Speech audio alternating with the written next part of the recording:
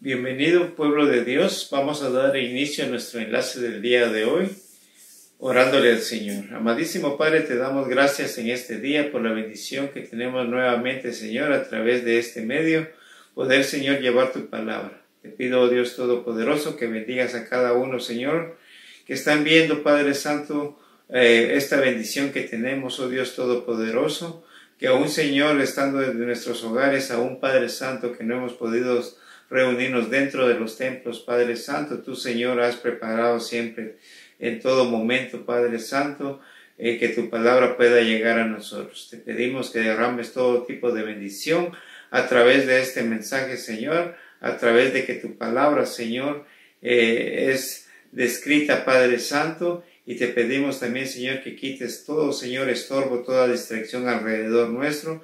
Todo esto te lo pedimos en el nombre poderoso de nuestro Señor Jesús. Amén y amén. Pues bienvenido pueblo de Dios, Iglesia Betel, Ministerio Hispano y todos los que se enlazan a través de este medio el día de hoy. Gracias a Dios que ha proveído una vez más. Uh, reciban bendiciones y que también este, se encuentren bien allá en sus hogares. Pues vamos a dar inicio a nuestro este, serie de mensajes que hemos iniciado hace algunas cuantas semanas y me gustaría iniciar con una pregunta. Póngase a pensar en esta pregunta. ¿No es cierto que dos personas pueden estar viendo lo mismo y llegar a conclusiones totalmente diferentes? ¿No se ha puesto usted a pensar, o cuando usted ha tenido tal vez algún tipo de, discusión con respecto a que está usted viendo lo mismo con otra persona, pero aparentemente están viendo algo diferente, porque dan respuestas diferentes? ¿Mm? ¿Por qué cree que es eso? ¿Sabe por qué? Porque cada uno de nosotros somos diferentes. Cada uno de nosotros individualmente como personas Dios nos creó a nosotros totalmente diferentes. Como parte del cuerpo de Cristo, en las manos se pueden ver que son iguales, pero hacen funciones diferentes. Algunos escriben con la mano izquierda, derecha, otros con la mano izquierda y otros tenemos la habilidad de poder escribir con las dos manos. Pero las funciones de cada uno de los miembros del cuerpo aunque puedan hacer lo mismo, ¿verdad? Tienen sus diferentes funciones. Así que continuamos con nuestra serie de mensajes, valores que construyen una visión. Estamos analizando cinco valores, mis amados hermanos, que dan forma a la forma en que debemos de ver nuestra vida o que debemos de vivir nuestra vida. Hace algunas semanas hablamos acerca de que Jesús es el centro Después hablamos acerca de que cada persona cuenta. La semana pasada hablamos de difundir la verdad en amor. Y hoy vamos a iniciar nuestro estudio y que lleva como título Unidad en todo. Es bien importante que a pesar de que somos diferentes, que tenemos diferentes perspectivas, estemos siempre, ¿verdad?, unidos. Jesús nos enseña allá en el libro de Juan, en el capítulo 17, ¿verdad? nos hablas con respecto a la última oración que él hizo antes de ser crucificado. Y está registrado ahí en el libro de Juan. ¿Sabe? Es la oración más larga que tenemos de Jesús, la cual está registrada en nuestra Biblia. Nosotros a menudo hemos pensado, ¿por qué oraría Jesús si supiera que esta iba a ser su última oración final? por las personas que le habían entregado a él. Porque si miramos ahí en el libro de Juan, Jesús oró, no por él mismo, sino que él oró por las personas que lo habían entregado, que lo habían crucificado, que lo habían tratado mal. Pero vayamos al libro de Juan mejor y veámoslo de esta manera. Juan capítulo 17, versículos 20 y 23, nos habla de esta manera. Y empieza, en el nombre del Padre, del Hijo y del Espíritu Santo.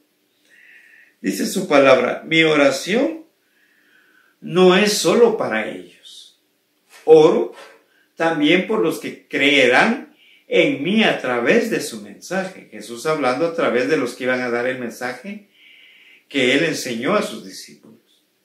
dice el versículo 21, para que todos sean uno. Padre, como tú estás en mí y yo estoy en ti, que, están, que estén también en nosotros para que el mundo crea que tú me enviaste. Les he dado la gloria que me diste, para que sean uno como nosotros somos uno. Versículo 23. Yo en ellos y tú en mí, para que sean ya llevados a la completa unidad.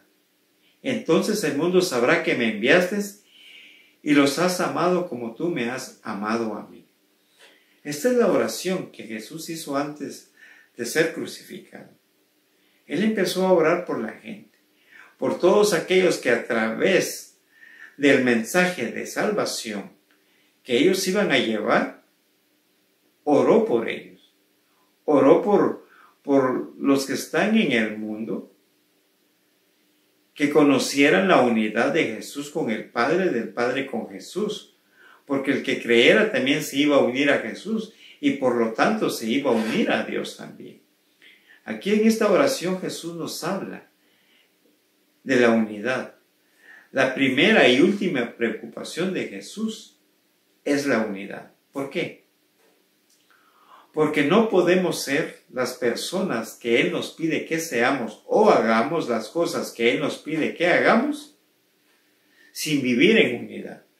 No podemos hacer lo que Él nos dijo que hiciéramos si no estamos conectados con Él. Seguir a Jesús, vivir para Él requiere unidad, con Él y entre nosotros mismos también.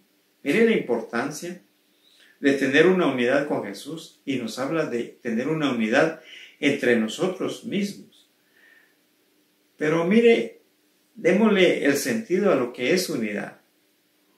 La unidad en todo no significa que estemos siempre de acuerdo en todo.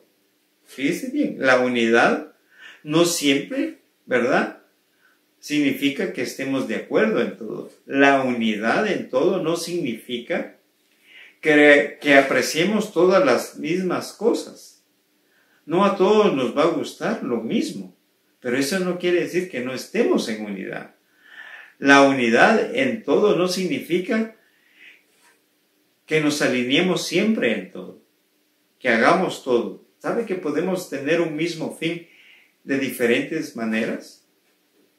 ¿Mm?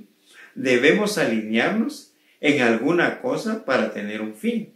Y nosotros como cristianos debemos alinearnos en unidad con Cristo, pero la unidad no significa que nos alineemos siempre en todo. Siempre vamos a ver algo, varias personas, pero vamos a tener puntos de vista diferentes. No hay persona inteligente y piadosa que no esté de acuerdo en ciertas cosas y aún mantienen la unidad. ¿Por qué? porque la unidad es algo que hacemos juntos. Y la desunidad y las diferencias no son iguales. Cuando uno se desune de, un propósito, es porque causa diferencias. Y las diferencias sí no son iguales. Sin embargo, es fácil permitir que nuestras diferencias lleven a la desunión. Por eso, eh, aclaro nuevamente que la unidad muchas veces ¿ah? no significa que estemos de acuerdo en todo, pero las diferencias es lo que causa muchas veces las desuniones.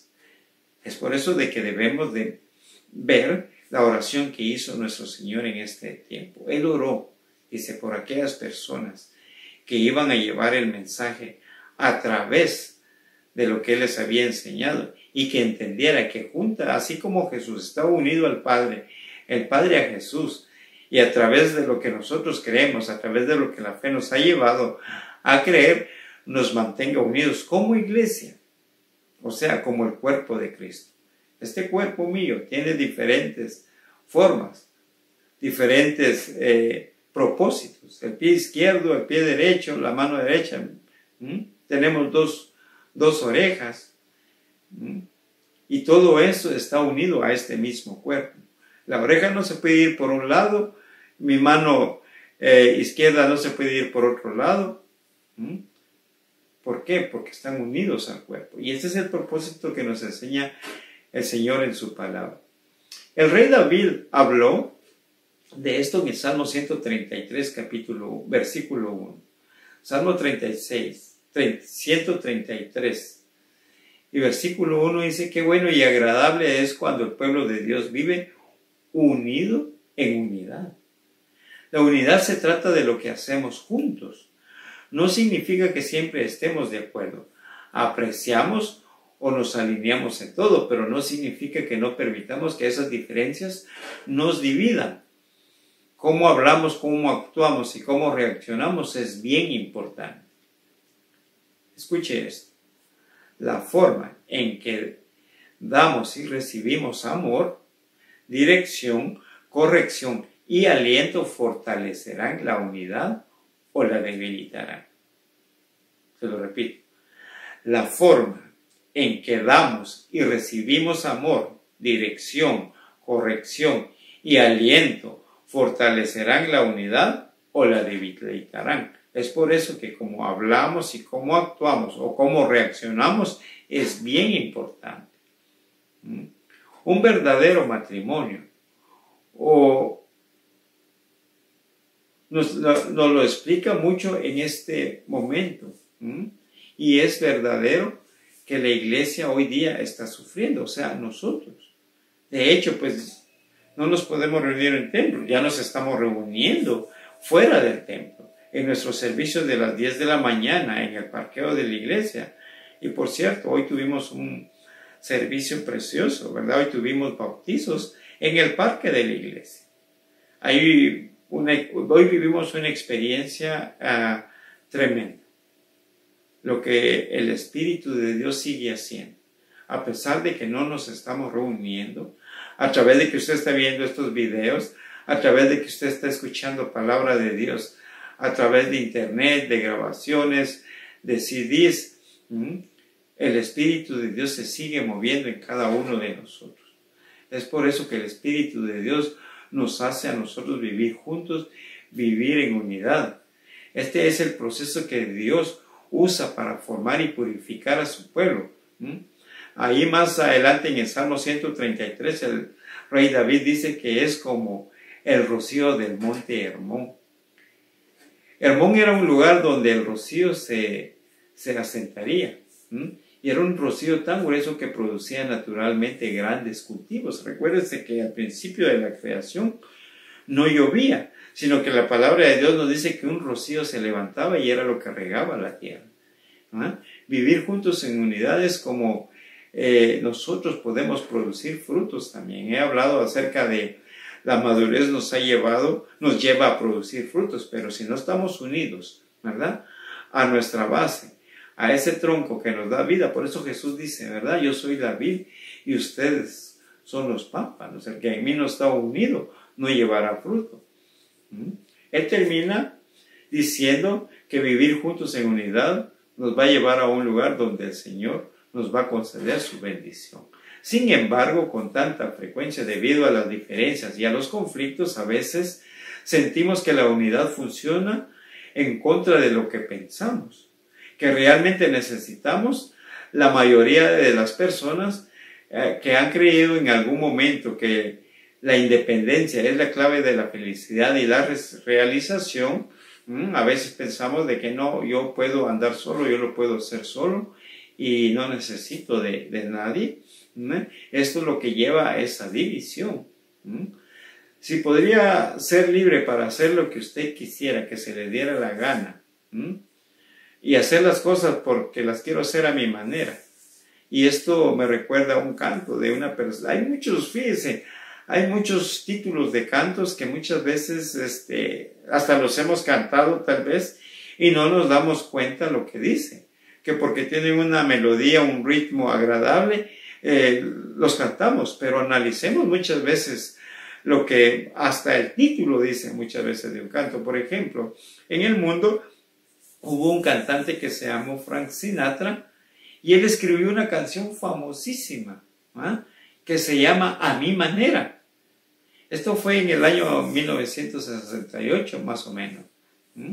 Y habla esta canción de que él quiere hacer las cosas a su manera.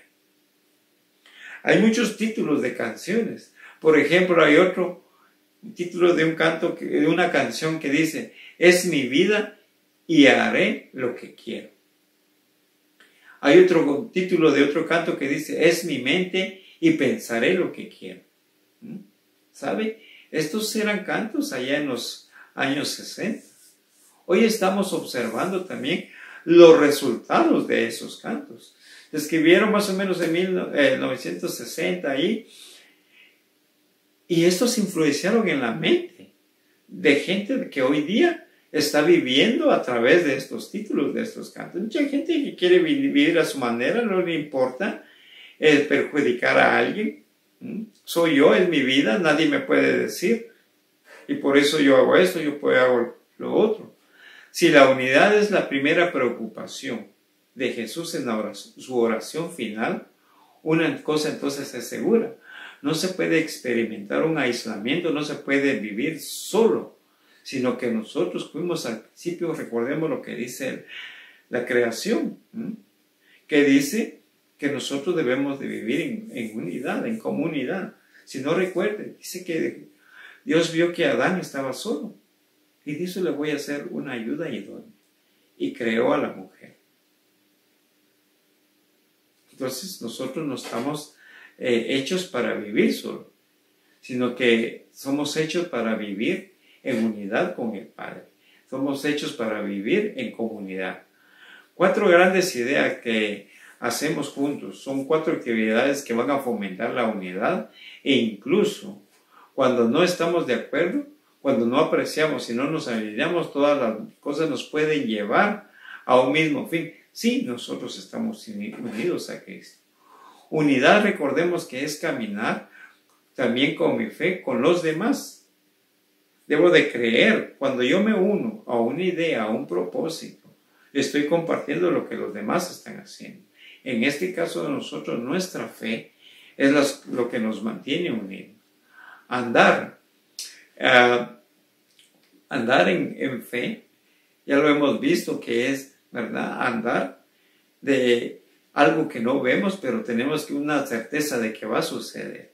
Y esto lo, lo hemos visto a través de algunos otros estudios que hemos hablado con respecto a la fe. Mm, por eso el andar con mi fe es una parte que hemos encontrado en las, en las escrituras. Y es con respecto a obedecer a Cristo, lo que nos dice. Por eso la unidad significa que sigo caminando mi vida de fe con los demás cuando siento ganas de caminar solo. Me voy a sentir que soy diferente, porque es importante que comparta también lo que los otros están haciendo. Nadie se queda quieto, porque el Espíritu de Dios es una fuerza que nos mantiene activos. Si usted se ha sentido en alguna ocasión de que usted no ha avanzado en su fe, es porque usted está estancado. ¿Mm? Recuerde que todos estamos en un viaje hacia nuestro verdadero lugar. Aquí en la tierra estamos temporalmente. Y cuando Jesús se fue, que se derramó el Espíritu Santo en cada uno de nosotros hoy día, es el mover del Espíritu Santo que nos hace también estar a nosotros aquí. Usted podría tal vez pensar, a mí me gusta caminar solo y de hecho algunas veces eh, lo hemos hecho. Cuando salimos a caminar alrededor del parque, alrededor del blog donde vivimos, lo hacemos solo. Puedo ir a mi propio ritmo, puedo ir a mi propia velocidad. ¿Y qué hay de malo en caminar solo? No hay nada de malo. A lo mejor este, usted podrá decir, entonces puedo hacer otras cosas solo. No necesito de alguien más. Pero ¿sabe? aunque andemos solos, hay alguien que siempre nos acompaña a nosotros. Y es Jesús a través del Espíritu Santo. Si nosotros hemos puesto nuestra fe y nuestra confianza en Él, ya no andamos solos. Siempre andamos acompañados con Él. Efesios capítulo 4, versículos 2 y 3 nos dice, que sea, seamos completamente humildes y gentiles, que seamos pacientes, unos con otros, enamorados. Esta versión nueva versión internacional lo dice así, enamorados. Esfuércense por mantener la unidad del espíritu mediante el vínculo de la paz.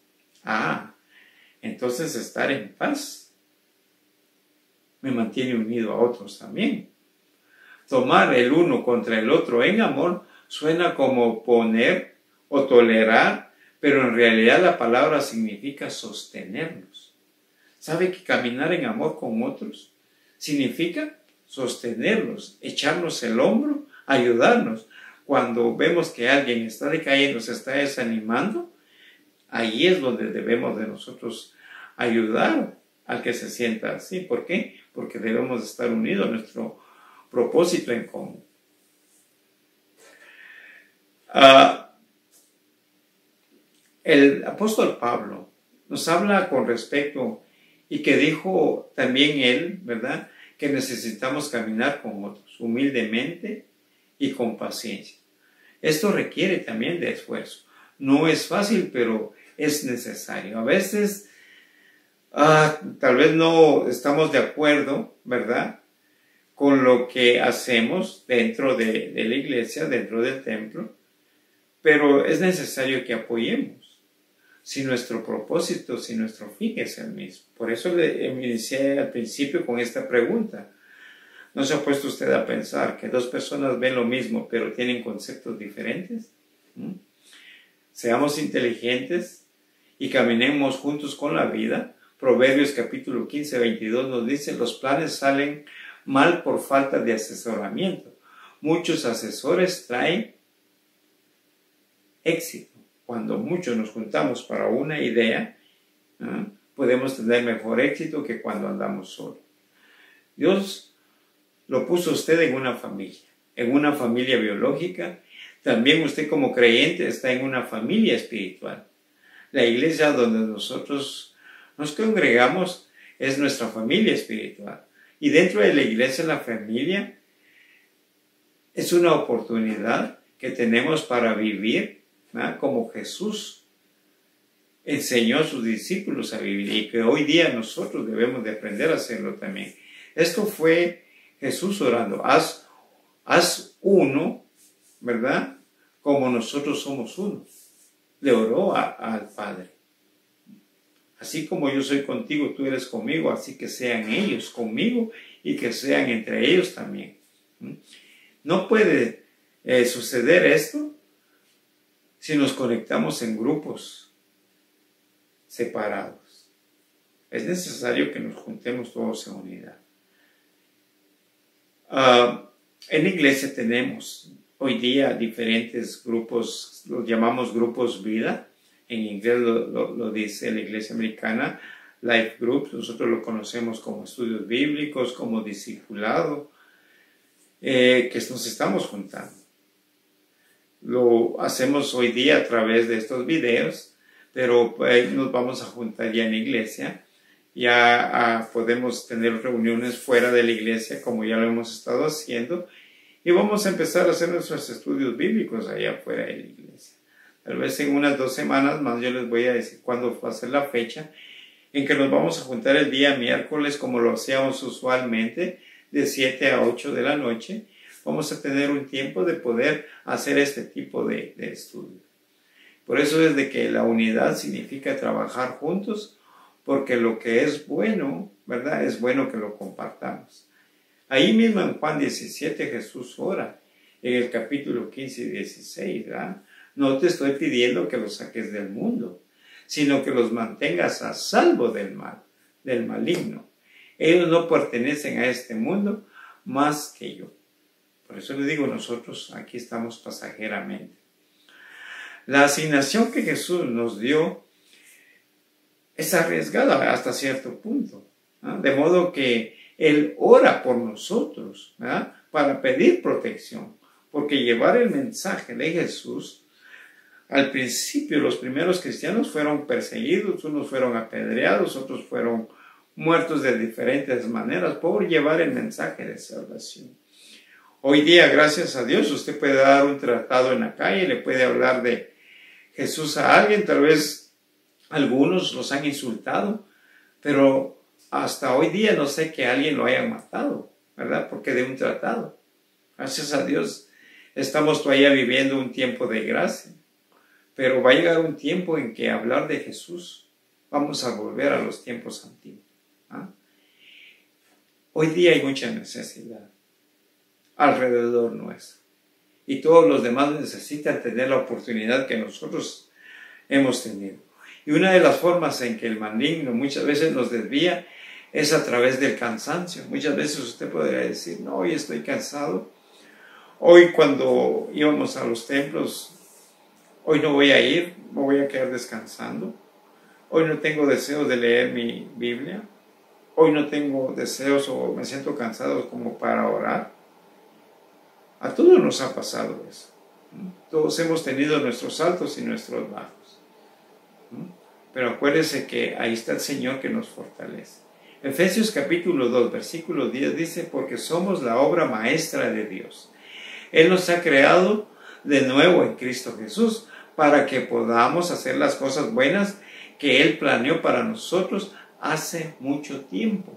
Fíjense bien los planes de Dios para nosotros no son nuevos, ya estaba en los tiempos en que Él hizo la creación. Más tarde ahí en Efesios, siempre en el capítulo 2, el apóstol Pablo dice que somos miembros de la misma familia, creados para hacer buenas obras juntos. Todos estamos en el negocio de la familia, que es la familia de Cristo, servir a Dios y los propósitos, ¿verdad?, que Él ha puesto en nosotros a través de su amor y su gracia. Primera de Corintios capítulo 2 también nos habla un poco con respecto a eso. Y Pablo dice que somos como un cuerpo. ¿ah? Todas las partes son importantes de nuestro cuerpo. Hasta un, la uña de alguno de nuestros dedos es bien importante. A veces no apreciamos ciertas piezas de nuestro cuerpo hasta que tal vez no le damos la importancia. Hoy día en la iglesia también lo podemos ver así. A veces no apreciamos el esfuerzo que hacen algunos hermanos. ¿Sabe que muchas esposas, muchos esposos, muchos hijos hacen el esfuerzo por buscar a Dios y el primer obstáculo está en nosotros, en la familia, en un esposo, una esposa, un hijo? Mm. No nos dejan hacer nuestra función, ¿verdad? Como el Señor nos ha dado cada uno de nosotros. Todos podemos trabajar juntos para hacer el bien. Y esta es una imagen de unidad. No siempre podemos estar de acuerdo, apreciar o alinearnos en todo, pero podemos vivir lo bueno que Dios ha planeado desde mucho antes, ¿verdad? De los tiempos. La unidad también sabe qué significa cuidarnos unos con otros. No solo es estar unido a Jesús, sino que estar unidos entre nosotros mismos también. Todo el mundo necesita a alguien en su esquina, como un boxeador, él sale a pelear, él es, él es el que pelea contra su contrincante. Pero sabe, en su esquina tiene a dos, tres, cuatro, cinco, que le están instruyendo, que le están gritando, agáchate, da una izquierda, una derecha, este, ve para el frente, ve para atrás. Hay quienes le están ayudando en su esquina. Porque el boxeador no gana las peleas solo, es un equipo a nosotros que nos gusta el, boxeo, sabemos cuando un boxeador va, atrás va acompañado de algunos más. Todo el mundo necesita a alguien en su esquina. Alguien que nos ama, alguien que es lo suficientemente eh, amoroso para que ore por nosotros, para animarnos cuando estemos desganados confrontamos muchas veces, muchas veces nos equivocamos, ¿verdad? muchas veces nos desanimamos, muchas veces nos volvemos hasta perezosos, muchas veces nos sentamos en un confort o encontramos nuestra zona de confort y ya no queremos hacer más. Entonces es ahí donde necesitamos nosotros palabras de aliento, a algunos más que nos ayuden. Cuando usted, si está cansado, Definitivamente, si usted tiene, es padre de familia, tiene, es cabeza de hogar, ¿verdad? Su esposa lo va a animar, ¿sabe? Su esposo lo va a animar. Su pareja que vive junto con usted se da cuenta, llega a conocerlo y sabe muchas veces. Y le dice, ¿qué te pasa? ¿Qué tienes? Y uno a veces contesta, nada, estoy bien. No.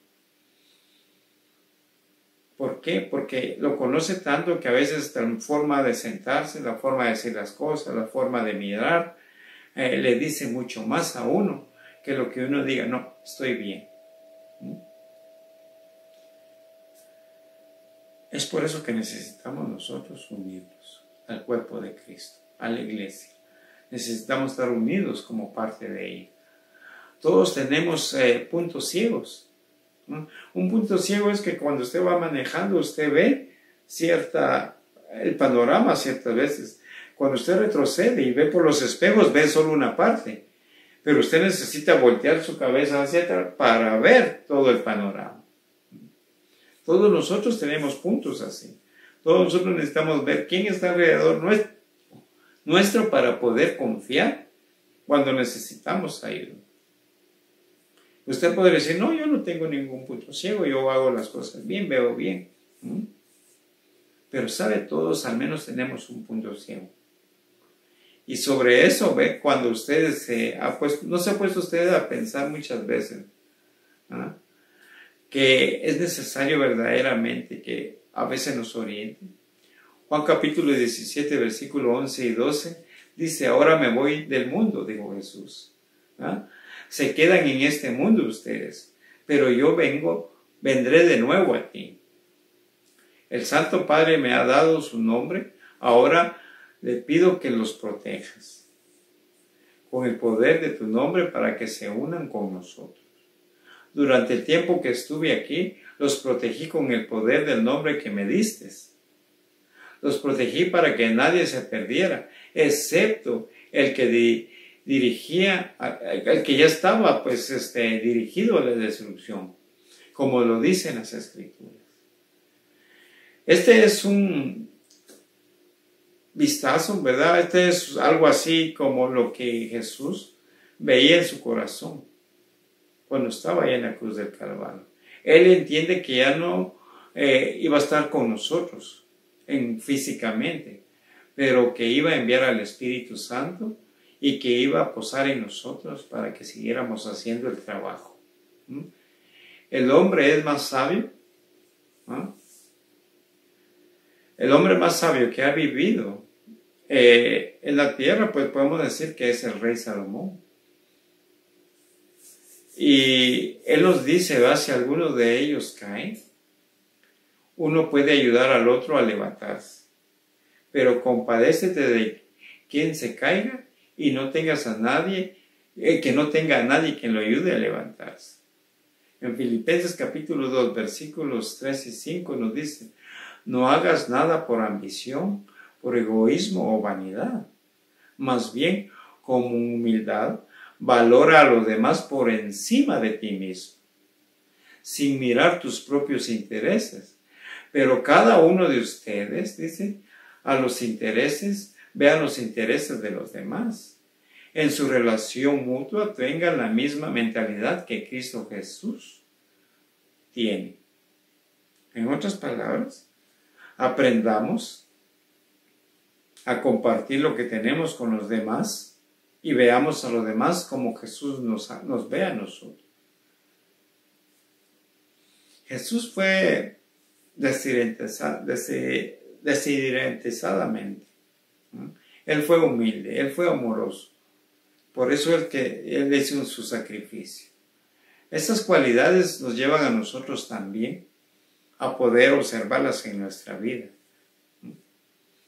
Fíjese, él nos amó tanto que dejó el cielo donde Él estaba, tomó un cuerpo humano como de nosotros, dio su vida allá en la cruz del Calvario, aunque Él no había hecho nada mal. Jesús no hizo lo que nosotros queríamos, Él hizo lo que nosotros necesitábamos. Muchas veces nosotros le pedimos al Señor, Señor, quiero esto, quiero lo otro aquí pero en realidad lo necesitamos. Él nos da a nosotros lo que necesitamos, sino que muchas veces lo que nosotros le pedimos a Él. Él no vino para hacer nuestras vidas felices, sino que vino para ayudarnos a hacernos santos y poder obtener la felicidad. Él no vino para hacer nuestras vidas cómodas, sino que Él vino para ayudarnos y convertirnos en personas de carácter. Y todos nosotros necesitamos personas que nos amen lo suficientemente como para ayudarnos para enseñarnos a tomar nuestras responsabilidades, para vivir nuestras vidas de tal manera que reflejemos, ¿verdad? La vida de Jesús. Por eso el Señor dice en su palabra, en esto conocerán que son mis discípulos, porque hacemos lo que Él hizo. Y esta es una imagen de unidad. La unidad es esperar, ¿verdad? En nosotros mismos y en los demás. Nadie ¿verdad? está apartado de no sufrir en algún tiempo ah, malos momentos. Todos enfrentamos, pero ninguno de nosotros tenemos la intención, sabe, de enfrentarlos solos. Cuando estemos en situaciones difíciles, acordémonos que hay gente alrededor nuestro, nuestra familia física y nuestra familia espiritual que están ahí para ayudar. No estamos solos especialmente hoy a través de este, esta pandemia que estamos viviendo. Sabe que estamos aprendiendo y está haciendo impacto en muchos de nosotros en nuestra vida. Quien no pensamos que nos podía ayudar, hoy nos está ayudando. Tanto física, mental como espiritualmente. Esta pandemia ha traído hasta cierto punto unidad en nosotros. Lo vemos en nuestro vecindario, gente que está ayudando a desconocidos, llevando comida. El otro día estaba viendo yo que un grupo de jóvenes de una universidad juntaron una cantidad de dinero y decidieron salir a las calles. Y así ver a la gente que venía y les decían, ¿sabes qué? Este, toma esto, 100 dólares. Y mucha gente, y este es dinero de verdad. Es una broma, ¿no? ¿Y por qué me lo das? Lo vas a necesitar. No decían, eh, utilízalo en esto, en lo otro, sino que se lo daban y empezaron a escoger. Gente bien vestida, con traje, con saco y corbata, aquí está. Gente humilde. Niños se metían a supermercados, entraban a oficinas, a tiendas, a autopartes y le estaban dando dinero a la gente. ¿Mm? ¿Para qué lo iba a utilizar la gente? Eso ya es otro tema. Pero ellos vieron la necesidad que hay en mucha gente. Muchos se pusieron a llegar a ese momento. ¿Sabes decir? Este dinero me hacía falta ahorita mismo. Y aunque ahorita estamos este, trabajando en un distanciamiento social, decían ellos, me gustaría darte un abrazo, pero te voy a dar, voy a hacer esto como que si te lo esté dando a ti. Esperar en la gente es estar siempre presente, es siempre estar disponible, que hay algunos que están cuidando de nosotros. Y estoy hablando de unos jóvenes no cristianos que tomaron en su corazón hacer esto. Gálatas capítulo 6, versículo 2 nos dice, lleven las cargas de los demás y de esta manera cumplirán la ley de Cristo. La ley de Cristo es amaos los unos a los otros como yo los he amado a ustedes. Allí Jesús también en Juan 13 nos dice, les doy un nuevo mandamiento. Y esto quiere decir, amen incondicionalmente ¿eh? y fielmente. Esto también es una imagen de unidad. Y para terminar, mis amados hermanos, quiero dejarlos con este pasaje. Juan capítulo 17, 22, 23 nos habló de esta manera. Jesús señala la unidad como la evidencia de que Él vive en nosotros, de que el amor que Él tiene nos lo ha transmitido a nosotros y como es como un testimonio que el mundo necesita ver hoy día. Si de lo que más necesita el mundo hoy día no es que se le pague su renta, que se le paguen sus biles, que tenga comida en su hogar, que tenga que vestir. lo que más necesita la gente es que tenga la experiencia de sentir el amor de Jesús.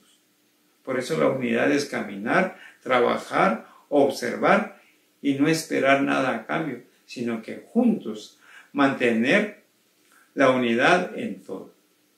Amados hermanos, que el Señor me los bendiga, que sigan teniendo un día bueno y nos vemos en nuestro próximo enlace recordándoles que el septiembre 13 vamos a tener un servicio especial en nuestra iglesia.